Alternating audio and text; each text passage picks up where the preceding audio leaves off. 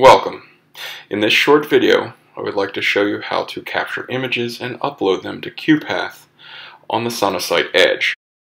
Of course, the first step is to turn on the ultrasound machine. We will now create a new patient. So press the patient button. This opens the patient screen, however it is not prepared for entry. So therefore you must press New, which is a soft key under the screen, allowing you now to edit the fields. The only field of interest to us at this point is the ID field that I indicated above. I will now select it using the trackpad and use the select button which is akin to the left mouse button. The number you place here is the patient's FIN number. I will put a random number in just for a demonstration. Here in the top right corner you can choose the type of exam.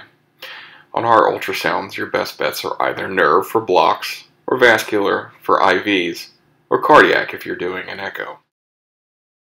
After entering the FIN number, we will now put in the reading doctor, which is your 801 number.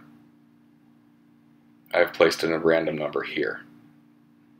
Then we can put done and begin our study. At this point, you can save video images by putting clip or still images by putting Save. You can review your images by clicking on the Review button, which goes back to the screen that you can scroll through. Thank you for your attention.